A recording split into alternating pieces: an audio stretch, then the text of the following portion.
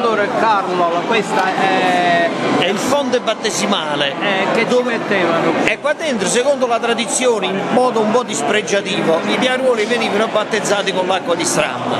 Vabbè, ma era un modo di dire perché era un modo di dire. C'era un'industria della C'era un'industria della strama diciamo, perché è un modo. I contadini portavano alle signore di.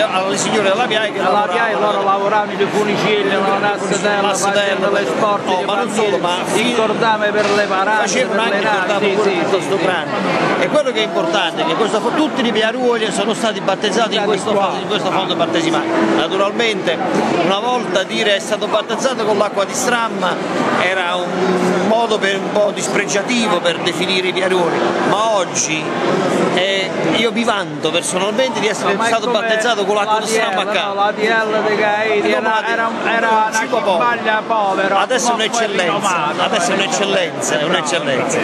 Qua sono stato battezzato io, c'è stato battezzato mio padre, mio nonno, il mio bisnonno e il mio trisaulo, poi mi perdo per la... E eh vabbè, fino ai romani.